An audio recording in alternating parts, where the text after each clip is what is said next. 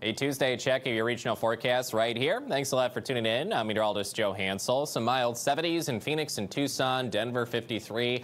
Los Angeles, middle 60s today. But as you venture north and west, winter issues are out there. Winter weather advisory, storm warnings, winter uh, storm watches for portions of the Rockies, northern Nevada, and the Sierra Nevada of California. Also, wind conditions. Wind advisories, high wind warnings, high wind watches out for some of those wind prone areas and portions of northeast New Mexico, southeast Colorado. Red flag warnings today for dry, windy weather, producing uh, some wildfire potential concerns. Now, there is a cold front stretching over land.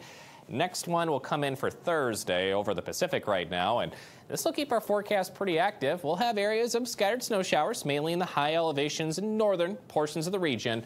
But as we get into Thursday, that second front will bring more, bring more widespread snow, especially up and down the Sierra Nevada, where 8 to 14 inches of snow possible with locally 1 to 2 feet plus.